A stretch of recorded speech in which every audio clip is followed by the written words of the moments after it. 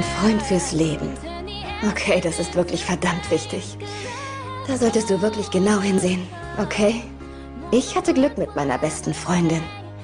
Meine beste Freundin ist witzig, intelligent, kreativ, wunderschön und sehr erfolgreich und sehr nett.